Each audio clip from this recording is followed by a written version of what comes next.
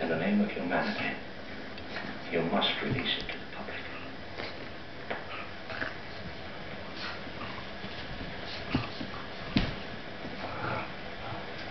All right. Even if some error should occur, I'm ready to assume the responsibility.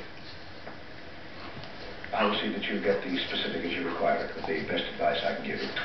Yeah, uh, please send me reports at the office.